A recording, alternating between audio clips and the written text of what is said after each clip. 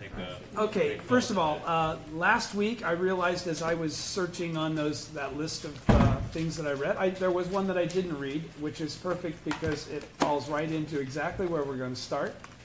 And it's also, again, the concept that I'm trying to constantly bring forward so that you understand and relate it to a perception of Nichiren and of the object of devotion and of this concept of Buddha, of beginningless time, uh, based on Kuan- Ji- Jiyushin Kuanganjo.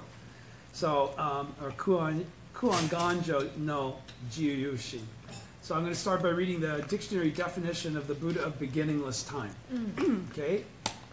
So, Buddha of beginningless time, also eternal Buddha, original Buddha, or true Buddha. Okay? Everybody understands what I just said? All right. So don't forget, I already said we're all true Buddhists, right? So, you see that, you see the point here. Also, eternal Buddha, original Buddha, or true Buddha. The Buddha who has been eternally endowed with the three bodies the Dharma body, the reward body, and the manifested body, their body embodying, thereby embodying the eternal law or ultimate uh, truth of life and the universe. This term appeared in Nichiren's writing given to his successor uh, Nikko titled On the Mystic Principle of the True Cause. It refers to the mystic law, uncreated and eternal, of the Buddha of beginningless time, and that's in quotation marks from that Gosho, and states that the mystic law lies in the depths of the lifespan chapter of the essential teaching of the Lotus Sutra. Nichikan, the 26th chief priest of the Taisekiji Temple, identified Nichiren as that Buddha based on the fact that Nichiren was the first to spread the mystic law. According to Nichiren, the Japanese term Jijuyushin literally means the body that is freely received and used. The Buddha of beginningless time is also called the Buddha of limitless joy, indicating the Buddha who deli- freely uh, derives boundless joy from the law while enjoying absolute freedom and who directly expounds the law that he realized within his own life. In the lifespan chapter, Shakyamuni revealed his attainment of Buddhahood, numberless major world system dust particle particle kalpas in the past. No matter how far in the past, however, it occurred at a fixed point in time and therefore is not eternal. Moreover, he did not clarify the law or cause that enabled him to attain enlightenment at that time. In contrast, the Buddha of, be- of beginningless time is eternal and also represents eternal life, endowed with both the nine worlds and Buddhahood, life itself, right? Hmm. The, in the opening of the eyes, Nichiren states, This is the doctrine of original cause and original effect. It reveals that the nine worlds are all present in beginningless Buddhahood, and that Buddhahood is inherent in the beginningless nine worlds. The beginningless nine worlds. Okay? So, existence is not something that's created. This is the mutual possession of the ten worlds, the true hundred worlds and thousand factors, the true 3,000 realms in a single moment of life. The, thr the true 3,000 realms in a single moment of life. Because this contains actually Ichinen Sanzen. Here, original, because it contains Nam Myoho Rengekyo. Do you understand? Here, original cause refers to the beginningless nine worlds and original effect to beginningless Buddhahood. Do you understand? Original cause. Here, original cause refers to the beginningless nine worlds. It's not like Buddhahood gave rise to us. Do you understand? And original effect to beginningless Buddhahood. They've never been separated. Mm-hmm. All right? What Nichiren defined as the true 3,000 realms of a in a single moment of life is the original state of life. You understand? Okay. What is the original state of life? Nam Myoho Renge Kyo. To manifest this state of life is the attainment of Buddhahood for all people. That's what the original teacher did. Do you understand? Manifested that state of life. Hmm. Do you understand? Mm-hmm. That's what creates the entity of the law that we uh, communicate with directly when we face the Gohonzon with sincere faith. Mm-hmm. Right? Nichiren established the practice that enables everyone to achieve this by inscribing the Gohonzon, or the object of devotion that embodies this original state of life. and prescribing the invocation of Nam Myoho Renge Kyo. Right, everybody with me? Everybody understands the definition of the Buddha of beginningless joy. Pardon me, the Buddha of beginningless time. Buddha of beginningless time is always the Buddha of Kuanganjo. Everything other than the Buddha of Kuanganjo is, the, is, is pertaining either as an original disciple of that original teacher or something to do with the Buddhism of the harvest as an expedient means. Do you understand? Um, let me get into this. This will make this will help me make my point. Go ahead. So can we say attend Buddhahood, which means attend our original state, Absolutely. and The clarity to perceive it. and the original state is, Is- already there. It's is not it- created. Right, not Yeah. created. And it's not a, a goal to attain. No, not a goal to attain. It's something to reveal. bring forth. To Exactly, reveal. exactly. Don't forget, what's, what's the difference between, this is kind of what we read into last week. Mm-hmm. Mm-hmm. What's the difference between the six basic paths, or whatever you want to call mm-hmm. them, six lower worlds, transmigration in the Yeah. six lower worlds, and transmigration in the four higher worlds? Yeah. What's the difference between those six and the top four? Um, The Buddha vehicle. The Buddha vehicle. Because seven, eight, nine, and ten are all the Buddha vehicle. vehicle. Ten is the Buddha vehicle, and the other three are the Buddha vehicle broken into expedient means so that they could perceive prior to the capacity of ten being developed in one's life. Mm-hmm. Do you understand? It's like theoretical Ichinen Sanzen and actual Ichinen Sanzen. Mm-hmm. Okay? So, understand then that, what's the difference, so that we're talking about all common mortals being hmm. the same, with the exception that some dwell in a realm of delusion, hmm. and some r- uh, dwell in a realm of Buddha. Hmm. Do you understand? Yes. Okay? Seven, eight, nine, ten, seven, eight, nine, you're on the path. Ten, you're already, is, is already contained the other nine. So let's get to, um, the beginning of chapter three here. And this is one of my, like I said, this is one of my favorite parts of the Gosho, because I got it the first time I read it. It was a major thing. It was like, aha! I get it. When? Oh, God, 40 years ago. First time I read this. You keep polishing, huh? One must continue to polish, or the jewel is not worth as much. Hmm. You never achieve its maximum value, its true value. Okay, chapter three, on page thirty-three. Original cause and original effect. Everybody's with me on this title, because this is what we talked about last week, is to perceive this, right?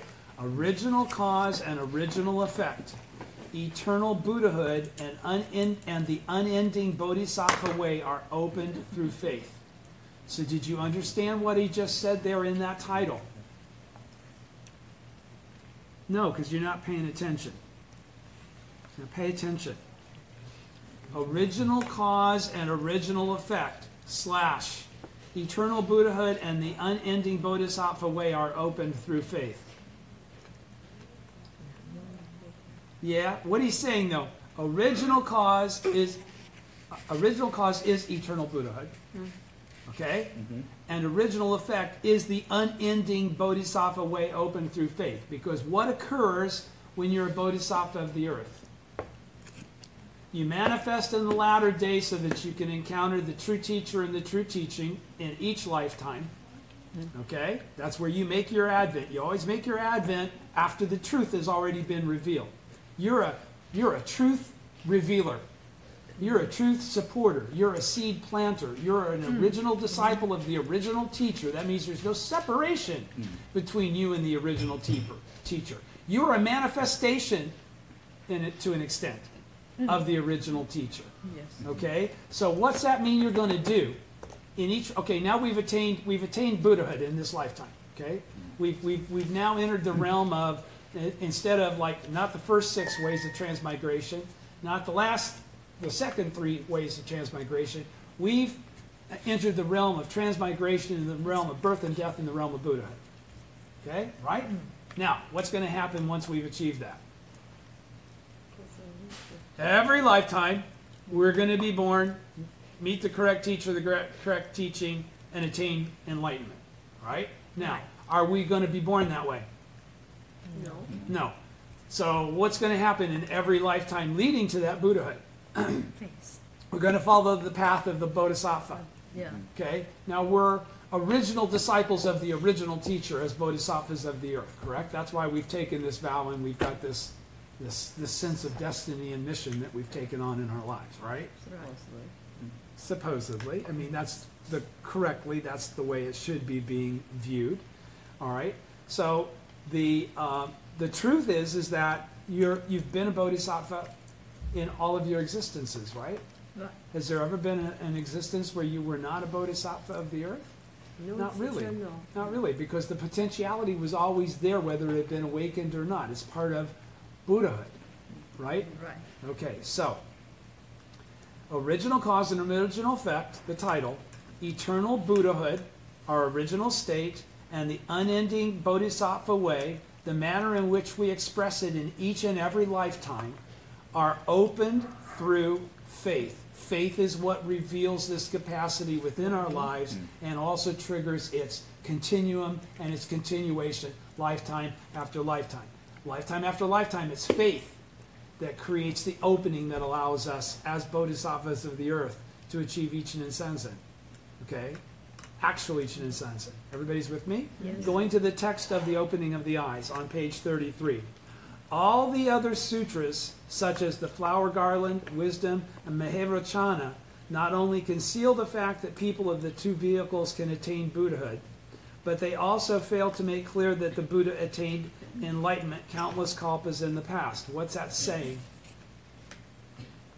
What's he talking about there as he's qualifying this in his opening of the eyes letter?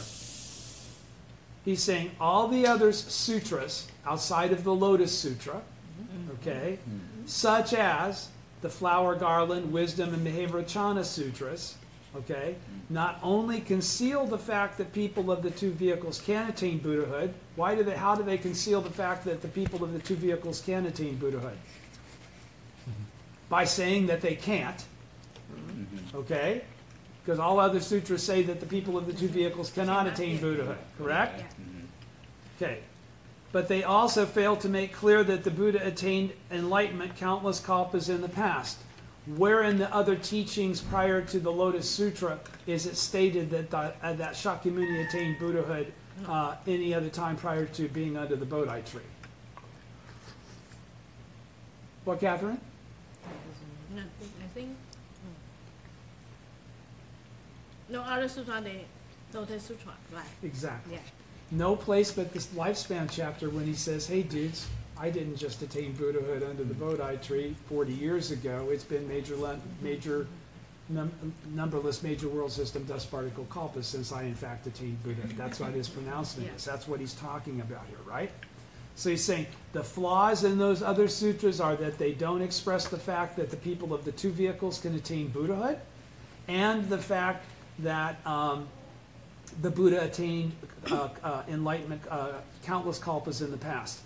These sutras have two flaws. First, they teach that the ten worlds are separate from one another. They fail to move beyond the provisional doctrines and to reveal the doctrine of 3,000 realms in a single moment of life as it is expounded in the theoretical teaching of the Lotus Sutra. What's that say?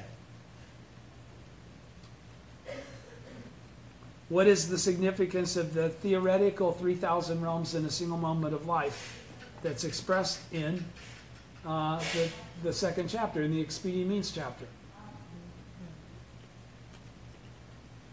All people attain, can attain Buddhahood. All people have the, p- potential for Buddhahood. All people are Buddhists, theoretically. Okay? Second, because they teach that Shakyamuni Buddha attained enlightenment for the first time in this world, referring only to his provisional aspect, they fail to reveal the fact stressed in the essential teaching that the Buddha attained uh, enlightenment countless kalpas ago.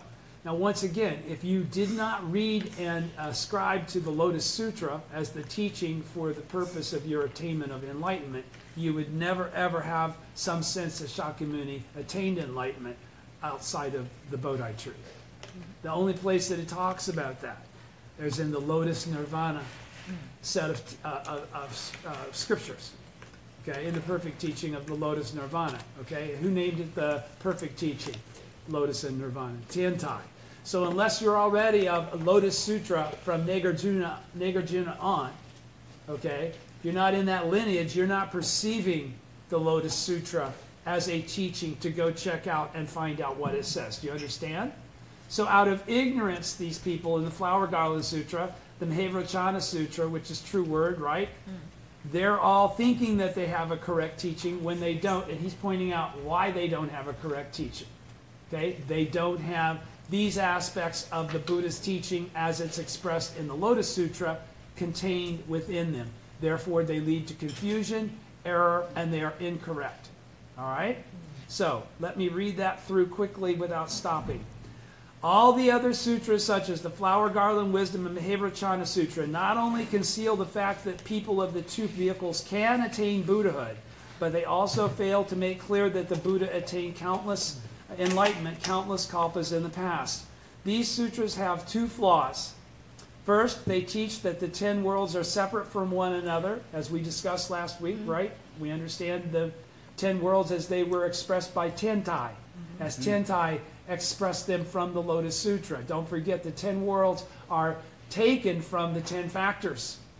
Okay, they're all from that expedient means chapter. That whole 3,000 realms issue is from the expedient means chapter. You understand that, right? And it doesn't exist outside the teachings of Tiantai, other than the fact that the people of the lotus, uh, of the flower garland, and the and the true word stole it and stuck it in. But they stuck it in in a way that it didn't fit with the rest of their teaching because they didn't understand it. It wasn't their teaching in the first place. Okay, so he's going to say, these sutras have two flaws. Okay, so even though they stole this from Tiantai and stuck it in there, they still have two flaws. Because the way they talk about the ten worlds are that he's talking about specifically True Word and, and, and, and Flower Garland, right? Mm-hmm. The two schools that stole Ichinen Sanzen. All right? And so what he's saying is, that they, but they still have two problems. Because even though they stole Ichinen Sanzen, which is from the second chapter, they didn't take from the 16th chapter the lifespan of the thus come one showing that he attained Buddhahood countless major world system dust particle kalpas ago, not under the Bodhi tree. They leave the rest of their teaching intact. The rest of their teaching says that he attained Buddhahood under the Bodhi tree. The Daishonin is saying is that's not that's not correct. Do you understand? Mm-hmm. Do you understand? He's saying those are even though they copied Ichinen Sanzen, this is where they have their flaws. They keep the ten worlds separate. They don't reveal that the Buddha attained uh, enlightenment, major, uh, numberless major world system, dust particle kalpas ago. These sutras have two flaws. These sutras, the flower garland and Mahavairochana. First, they because they teach that the ten worlds are separate from one another, they fail to move beyond provisional doctrines and to reveal the doctor, doctrine of 3,000 realms in a single moment of life as it, ex- as it expounded in the second chapter. Do you understand? Which isn't true Ichinen Sanzen, but at least it's a theoretical framework for everybody being able to attain Buddhahood in their present form, right? Because it's got mutual possession of the ten worlds, even in that three that that mm-hmm. theoretical. Mm-hmm. Do you understand? It's only on the basis of the mutual possession of the ten worlds and the three thousand in the theoretical three thousand realms in a single moment of life that one can attain Buddhahood in their present form. Because there's no teaching like that. Do you understand? All right. So second, because they teach that Shakyamuni attained enlightenment for the first time in this world, referring only to his provisional aspect, they fail to reveal the facts stressed in the essential te- teaching that the Buddha attained count, uh, enlightenment countless kalpas in the past, countless kalpas ago. These two great doctrines are the core of the Buddha's lifetime of teachings hmm. and the very heart and marrow of all sutras. Why is that so significant about the persons of the two vehicles? Why is that like a core aspect? We, we so important that we got to save their butts. Why do we have to save their butts? Think it through. It's absolutely important that you understand this. They lead to, to what? If they can't, then the But it's cannot. the theoretical. Yeah, the whole theoretical out- explanation is out the ris- out the out the window. They have to be accounted for. Mm-hmm. Okay, we can get to women, we can get to icchantikas later, but right now we're talking about the ten worlds, right? Mm-hmm. So the ten world people, everybody represented by those aspects of life, mm-hmm. okay, have to be accounted for in a perfect teaching. Everybody's with me? Yes. All right, so the expedient means chapter, which belongs to the theoretical teaching, expounds the doctrine of 3,000 realms in a single moment of life, making clear that persons of the two vehicles can achieve Buddhahood. It thus eliminates one of the two errors found in these earlier sutras. These are two, again, the provisional sutras that have Ichinen Sanzen in them because they stole it after the fact, all right? But it nevertheless retains the provisional aspect and fails to re- uh, reveal the eternal aspect of the Buddha's enlightenment. What's he talking about there? I think that Shakyamuni Buddha. Now he's now he's talking about the theoretical te- the, the the expedient means chapter. Now he's qualifying why there's still even a difference in the Lotus Sutra between the first 14 chapters and the sex- second 14 chapters. Because even though in the first 14 chapters in the expedient means chapter, he's this teaching of Ichinen Sanzen has been qualified that allows everybody to be Buddhas. Mm-hmm. In fact, that's theoretical Ichinen Sanzen. What allows a person to be a Buddha? Actual Ichinen Sanzen, mm-hmm. right? Where is actual Ichinen Sanzen revealed? Only in the lifespan Lifespan. chapter. Mm-hmm. Do you understand now what he's saying and why he's saying it? So he's he's actually counting the theoretical teaching of the Lotus Sutra as being a provisional teaching. Because it doesn't lead to enlightenment. It doesn't contain the aspect necessary to reveal actual Ichinen Sanzen. It only theoretically says you could. Do you understand? That's the extent of it, what it does. That's why Tiantai had to do Makashikan and have threefold contemplation in a single mind. Mm. Do you understand? He had to go into a separate process of meditative mm-hmm. practice mm-hmm. to try and get to an understanding of the middle way. Mm-hmm. Right? Because that's really what Buddhahood is. is everything's the same. Everything's equal. All right? So, the expedient means chapter, which belongs to the theoretical teaching, expounds the doctrine of 3,000 realms in a single moment of life, making clear that persons of the two vehicles can achieve Buddhahood. Mm-hmm. It thus eliminates one of the two errors found in the earlier sutras, but it nevertheless retains the provisional aspect and fails to reveal the eternal aspect of the Buddha's enlightenment. Thus, the true doctrine of 3,000 realms in a single moment of life remains unclear. It's not contained within the expedient means chapter. All right? And the expedient means chapter is revealing a 3,000 realms in a single moment of life that is not true. All right? It is not what we're trying to get to. That understanding is not what it's about. Understanding Ichinen Sanzen is not the goal. That's theoretical. Living as the Buddha, manifesting the, the, the mutual possession of the ten worlds is the goal. So he says, and the attainment of Buddhahood, thus the true doctrine of 3,000 realms in a single moment of life remains unclear, and the attainment of Buddhahood by persons of the two vehicles is not properly affirmed. All right? As su- such teachings are like the moon seen in the water or rootless plants that drift on the waves. This is my favorite part. This is the part that I got when I read it the first time. When we come to the essential teaching of the Lotus Sutra, what's the essential teaching of the Lotus Sutra? The last 14 chapters. Then the belief that Shakyamuni first obtained Buddhahood during his present lifetime is demolished. It's demolished. Why? Because Because he reveals, even though I've never said anything all this time, it's been major it's been numberless major system dust particle kalpas ago. Okay, that's what Maitreya is saying. Where did all these dudes come from? He said, Oh, you thought I just attained Buddhahood under the Bodhi tree. No, dude, it's been a forever. Mm-hmm. And it's gonna go on for twice as long as the forever it's already happened. Mm-hmm. Okay? And so, what's he say there? Once the expedient means are eliminated because the essential teaching is revealed, do you understand? Mm-hmm. Then everything he said that pertained to him attaining Buddhahood under the Bodhi tree goes out the window. All of the Buddhas, all of the teachings, all of the everything. Let me say it. And, and, and again, we're left with the Buddhism of the harvest really only being, in truth, according to Shakyamuni himself, the last 14 chapters of the Lotus Sutra. Mm-hmm. It really is, that's all that's left of it. And what it's really done is, it, is prepared the way for the Buddhism of the Soe in the latter day.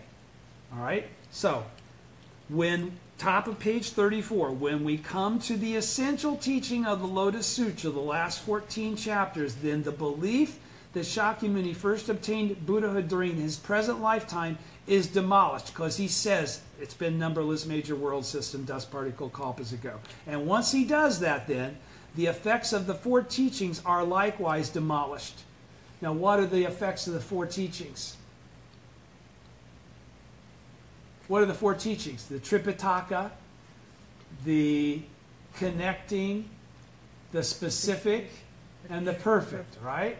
But the perfect, as he's we're talking about here, he's talking about the uh, first 14 chapters of the uh, Lotus Sutra.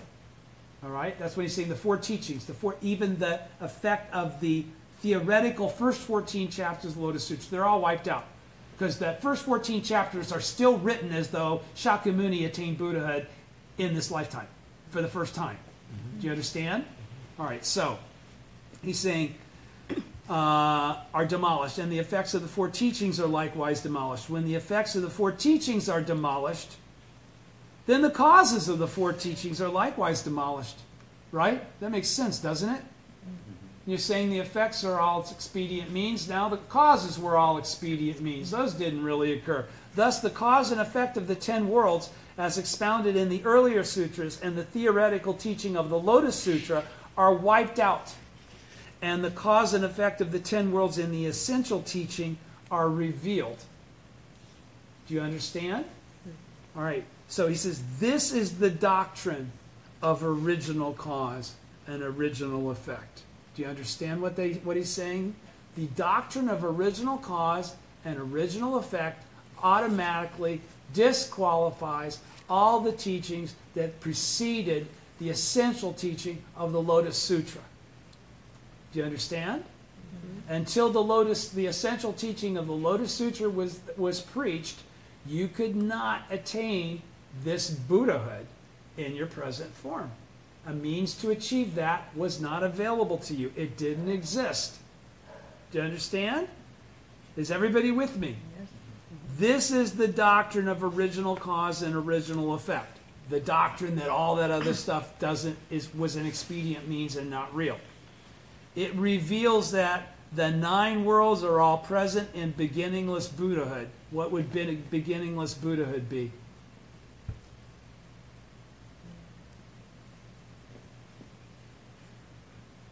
Buddhahood from Kuan Ganjo, right? Beginningless is Kuan, mm. right? And that Buddhahood is inherent in the beginningless nine worlds. So he's saying the beginningless nine worlds also. Mm. All right? This is the true mutual possession of the ten worlds, the true hundred worlds th- and thousand factors, the true 3,000 realms in a single moment of life. This is actually Ichinen Sanzen. All right, now to go on with President Ikeda's lecture. Everybody was with me on that Yeah. part of the Gosho. All mm-hmm. right. In this passage, Nichiren Daishonin clarifies the original, the doctrine of original cause and original effect, the principle of attaining Buddhahood, expounded in the lifespan, the 16th chapter of the Lotus Sutra.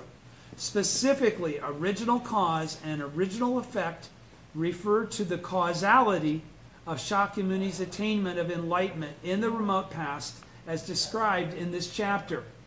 Here, Shakyamuni reveals that his actual attainment dates back to a time in the immeasurably distant past, numberless major system, uh, uh, world system dust particle kalpas ago. This is the first time he ever mentions numberless major system, uh, uh, major world system dust particle kalpas ago. Thus, the cause that made it possible for him to attain Buddhahood at that time, which he's revealed now for the very first time in, in 60 years of teaching, uh, is, yeah, is or 50, whatever it was, uh, at that time is called original cause. All right? While the effect or result of his attaining Buddhahood is called original effect. Everybody's with me? That's from the Buddhism of the Harvest. In terms of the literal teaching of the lifespan chapter, which would be Buddhism of the Harvest, the principle of attaining Buddhahood based on this original cause and original effect is expressed, is, is explained in the context of Shakyamuni. Everybody's with me, right? Yeah. Okay? But when viewed from the standpoint of the teaching implicit in the depths of the chapter, which would be the Buddhism the sowing, mm-hmm. it is not only it is not limited solely to Shakyamuni. This doctrine also reveals the most fundamental and universal causality for attaining Buddhahood, and as such, it constitutes the cause and effect of enlightenment for all people. Now, but again, who qualified that difference between the literal interpretation and uh, the one that's um, implicit?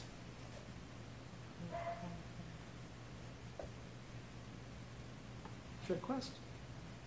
You're going to say Nietzsche, and it's not going to be right. It's Tiantai. Ten yeah.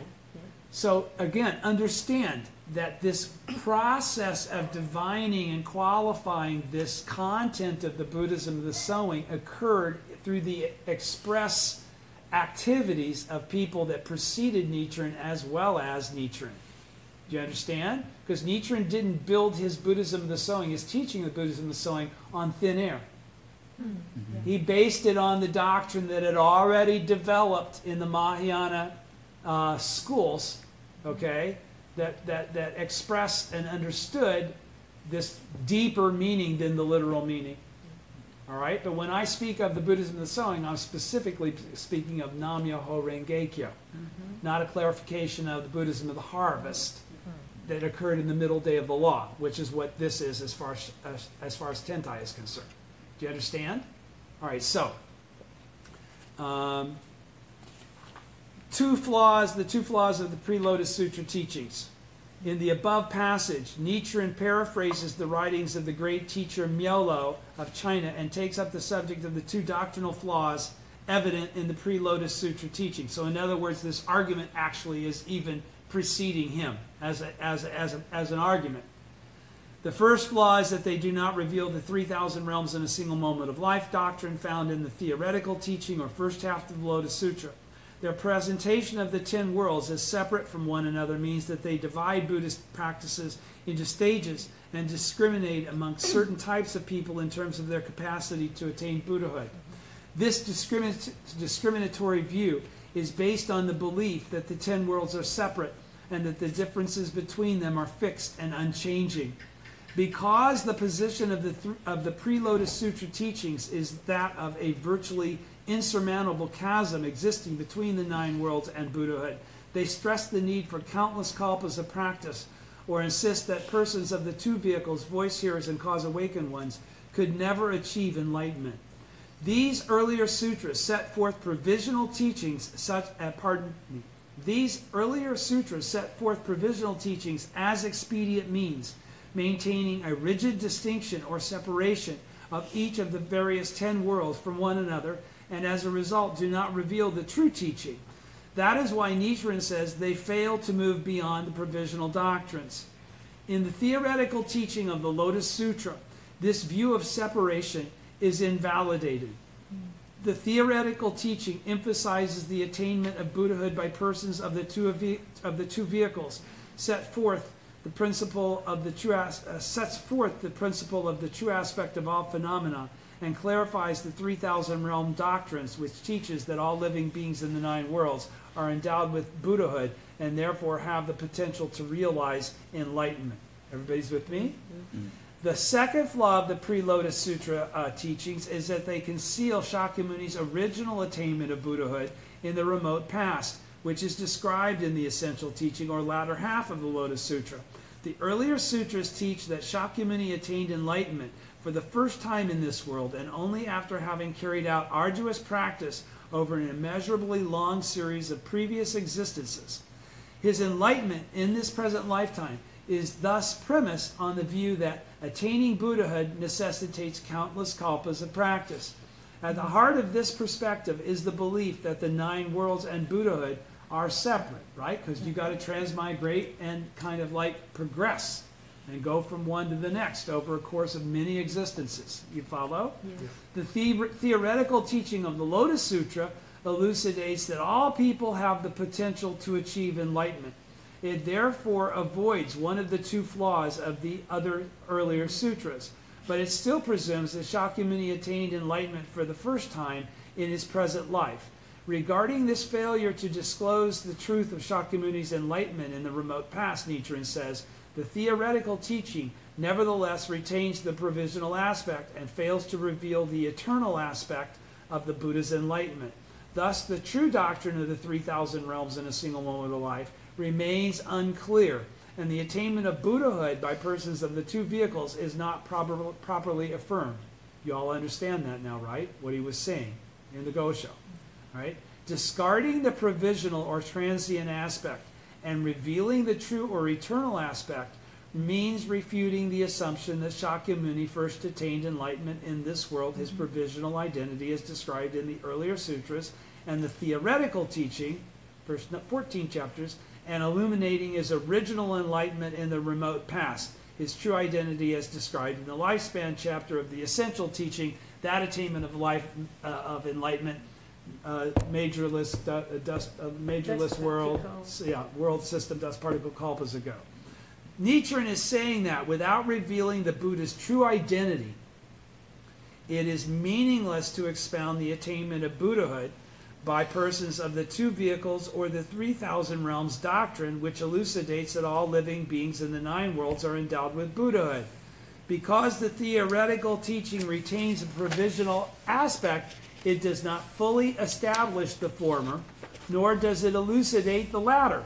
Because the 3,000 realms doctrine sketched in the theoretical teaching lacks a solid basis and remains indefinite, Nichiren compares it as the uh, moon seen in the water or rootless plants that drift on the waves. Everybody understands? Do you understand? The eternal, the eternity of your life, the eternal aspect of your life is the essential essence of beginningless time. Okay? Mm. That's the whole thing that I've always asked about Christianity even before I became a Buddhist. If you can go to heaven, how long's heaven? Heaven's forever. Okay? What about being born? Well, you were just born in this lifetime. I said, so I start from a point, but then I go on forever. That goes against all the physics, that goes against everything. You know, okay, so God created me. Okay, when did God? Oh, God's without beginning. Okay, so God's without beginning. All right, my death will be forever too, but somehow I'm kind of stuck in the middle as created. I never, ever, ever could get my head, head around that and have that seem reasonable to me.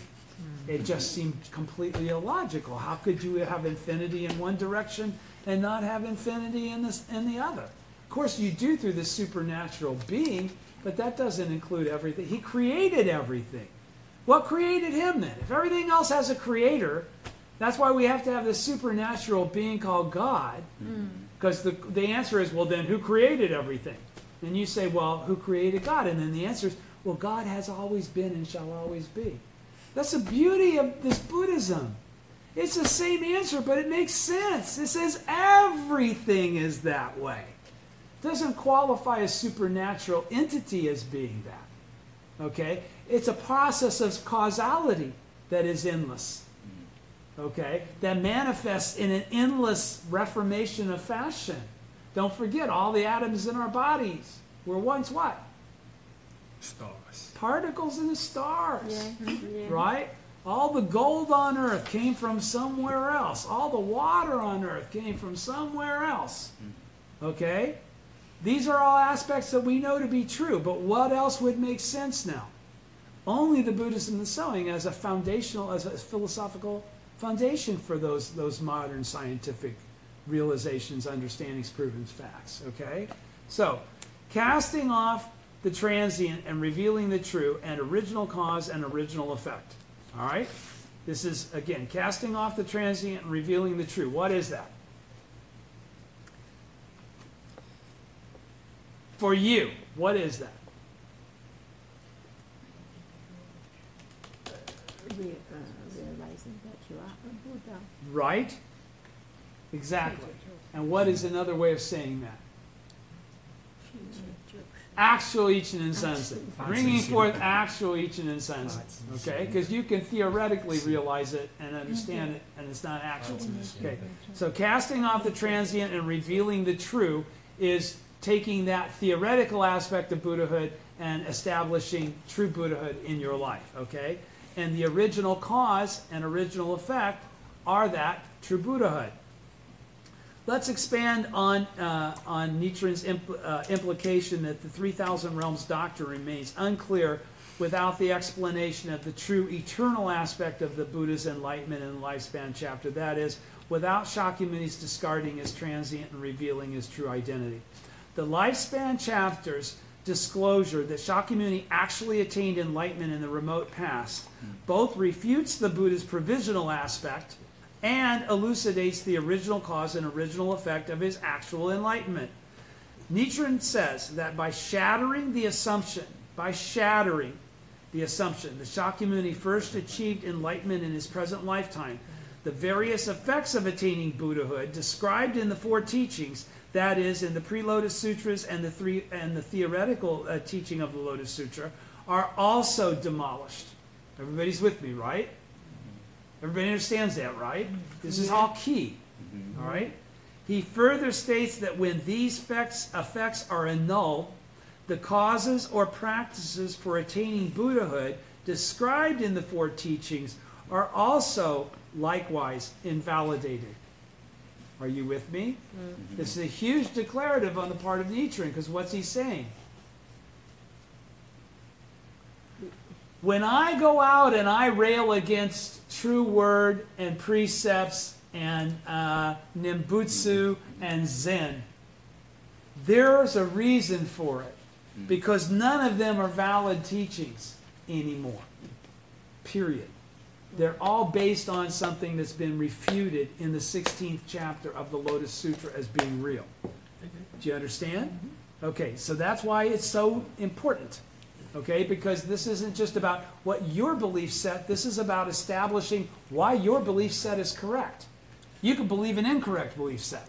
This is the doctrinal foundation on why that belief set happens to be verifiable, defendable, uh, can defeat all others in, in, in, in debate as it relates to doctrine. Um, okay, where am I? Okay, pardon me, let's just go here. Last paragraph on 36, on first column. Nichiren says that by shattering the assumption that Shakyamuni first achieved enlightenment in his present lifetime, the various effects of attaining Buddhahood described in the four teachings, that is, in the pre Lotus Sutra teachings and the theoretical teaching of Lotus Sutra, are also demolished. He further states that when these effects are annulled, the causes or practices for attaining Buddhahood described in the four teachings are, are likewise invalidated. One purpose in casting off the transient and revealing the true is to completely refute the cause and effect of the ten worlds set forth in earlier sutras and the theoretical teachings, so that they're not drawn back upon again incorrectly from an incorrect perspective. Do you mm-hmm. understand? So that they, they're not poison, because they're poison in that, in that form. Mm-hmm. All right? The cause and effect of the ten worlds and the cause and effect of attaining Buddhahood, while the nine worlds constitute the cause and the world of Buddhahood the effect. Pardon me.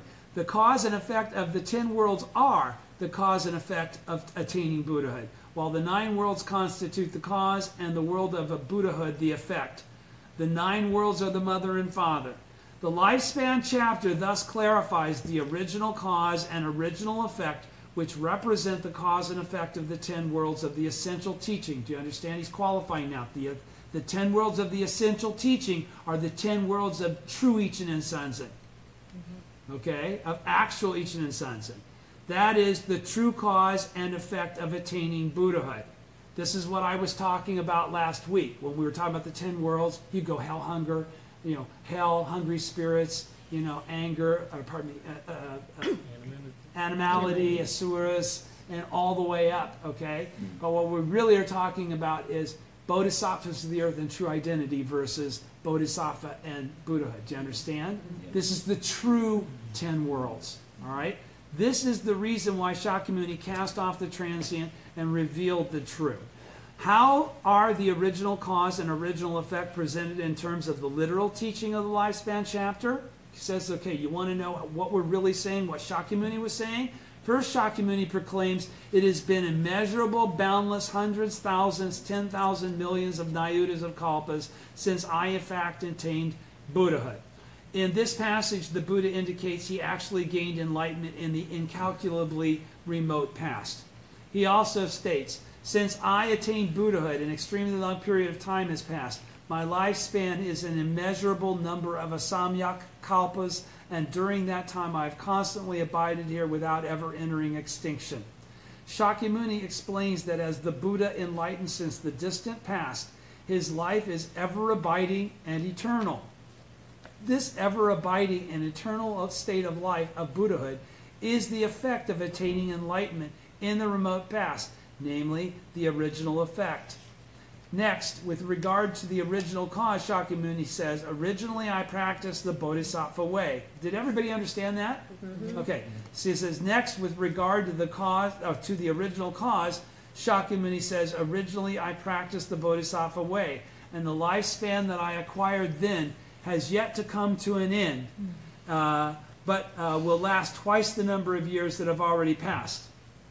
In other words, he says that the life state of Buddhahood he obtained the original effect, and the life state of the nine worlds in which he practiced the Bodhisattva way to do so, the original cause, have endured endlessly throughout the numberless major world system dust particle kalpas in the past. He attained enlightenment. And he adds that they will continue to exist for a duration twice as long again. The life state of Buddhahood, original effect, is ever abiding and eternal. And the life state of the nine worlds in which one practices the Bodhisattva way, the original cause, is inexhaustible and never ending too. In this way, the causality for attainment, pardon me, in this way, the causality for enlightenment described in the essential teaching, that is, the doctrine of original cause and original effect, is dramatically different from the view in pre Lotus Sutra teachings, which asserts that Buddhahood can only be realized by eliminating life states of the nine worlds. Everybody with me? This is a complete departure in the Lotus Sutra, right? That's why it was never accepted and those other sutras rejected. Because it's a complete departure. Those other schools would have had to disband, eliminate and, and abandon all of their traditions and take up something completely new that was completely under the Nagarjuna Tiantai kind of uh, lineage. Everybody's with me? Yes. In fact, the lifespan chapter explains that the Buddha, even after becoming enlightened in the remote past, has ceaselessly pursued the Bodhisattva way out of a desire to liberate from suffering those who dwell in the reality of the nine worlds. So, what's he saying here? That the Buddha still always functions as a Bodhisattva. Okay? Always. You don't go straight into Buddhahood. Bu- Bu- Bodha- Bodhisattvahood is, is, is, is part of the expression of Buddhahood. Mm-hmm. Right? The Buddha vehicle is expressed in those three higher worlds of learning, realization, and compassion of Bodhisattva, right? They're not three or lower separate things. Do you understand? Mm-hmm. They're not separate stages. Mm-hmm. All right? They're the same as, they're components of. Let me say it again. In fact, the lifespan chapter explains that the Buddha, even after becoming enlightened in the remote past, has ceaselessly pursued the Bodhisattva way out of his desire to liberate from suffering those who dwell in the reality of the nine worlds. Here, the true aspect of the Buddha becomes clear through Shakyamuni in the lifespan chapter, casting off the transient and revealing the true. This true identity, if you will, is that of the eternal Buddha who embodies a way of life dedicated to never ending bodhisattva practice. That's each of us as well. Do you understand? There's that aspect of your life that exists as your life. It is ever present in your life. It is never separate from your life. Do you understand? That's the part that makes you the same as the Gohonzon, or says that people say the Gohonzon is you. That's what they're alluding to. This is the aspect they're alluding to. The life state of unceasing devotion to bodhisattva practice amid the reality of the nine worlds. What is that? That's us, mm-hmm. right? Yeah. The life state of unceasing devotion to bodhisattva practice amid, amid the reality of the mm-hmm. nine worlds is a life state of the nine worlds. At the same time, the eternal life state of Buddhahood provides the fundamental energy for manifesting this commitment to unending bodhisattva practice, which is chanting Daimoku, which is studying, learning, realizing, and having compassion to propagate. Do you understand? Yeah. Am I going out of frame every time I do that? You should, I'll just move over a bit, or you could, whatever. In the earlier sutras, you had me move this way the first time, though. In the earlier sutras, it was assumed that Shakyamuni, who attained enlightenment for the first time in his present existence, would, upon death, be reborn in a pure land in some other world and cease carrying out bodhisattva practice in this mundane world. You all understand that, right? He'd go to one of the Buddha lands. But for the Buddha who originally attained enlightenment in the remote past, the mundane world is itself a pure land and a land of tranquil light. Everybody perceives that and understands that, right? Mm-hmm. Okay. We don't have to go to some place that's an exclusive Not in a club. We couldn't save anybody there. Mm. The bodhisattva part and component of our true identity would not be able to be revealed there. If I go to a Buddha land, I got nothing to share with anybody, right? Mm. Everybody's already knows it. From the perspective of this Buddha of the lifespan chapter, the reality of the nine worlds represents an opportunity to bring forth the eternal inner life force of Buddhahood, the original state. Mm-hmm. It also constitutes the arena for actualizing and expressing the wisdom and compassion of Buddhahood. So, in other words, without our true existence of living in the nine worlds as common mortals, we would not have the capacity to speak, to move around, to interact with others, to propagate this teaching, to show the compassion of the Buddha by sharing it with others and helping relieve their suffering. In addition, this Buddha regards those suffering amid the reality of the nine worlds as children to, be, to be taken care of and led to happiness, and as friends with whom to share the limitless freedom of the state of Buddhahood. Us in our daily lives trying to propagate Buddhism and so on. Correct? Mm. All right. So, everybody's with me, right? So, he's talking about you. When he keeps saying this Buddha, this Buddha, this Buddha, he's talking about you, that Buddha, mm-hmm. when you manifest that Buddha state. Do you follow? Yes. All right. The Buddha who has realized this true absolute freedom, which could be any of us, all right, mm-hmm. if we have, if we've made the cause for that to occur, mm-hmm. Exercises mastery over his body and mind through the power of Buddhahood, and self reliantly conquers all negativity and other devilish forces. That means when you're faced with obstacles, when doctors say shit, you don't just go, ooh. Okay? You suck it up as a challenge. Now, does that mean you're going to eternally live forever and that everything that threatens? No. But you will live a life that is an example of this life state. And you will be able to elucidate all the wisdom that you were supposed to in that life, in the lifetime that you manifested that lifetime for. Don't forget whose causes dictate how long you live. Hmm. It's not a God or a Buddha that sent you on a mission. Mm-hmm. You made that determination. All right? Mm-hmm. Okay, so at the same time, the Buddha recognizes that the power of Buddhahood also lies dormant within the lives of others and within the mundane world itself. Thus, in order to unlock and activate this latent power, he continually strives to awaken people to their Buddha nature. He does this by tirelessly pursuing courageous action, manifesting unlimited wisdom, and engaging in sincere dialogue. Everybody's with me, right? Yeah. You keep practicing to the last moment of your life, to the best of your ability. In this way, Shakyamuni, casting off the transient and revealing the true, in the lifespan chapter, radically transforms earlier assumptions about the Buddha and about attaining Buddhahood. Everybody's with me on that, right? It mm-hmm. pretty much rewrote the book there. It is to be pointed out, however, that the literal teaching of the lifespan chapter speaks primarily about the original effect of the Buddha who attained enlightenment in the remote past. Its only reference to the original cause is found in the passage, Originally, I practiced the Bodhisattva way. All right, and since it's nine o'clock, and that's a perfect spot to segue over, and next week will be, um, I'll get as far as I can. Uh, next week we will start on page thirty-eight, the beginningless world, uh, beginning, uh, pardon me, the beginningless world of Buddhahood and the beginningless nine worlds. Thank you very much. Thank Bye-bye. you. Bye bye.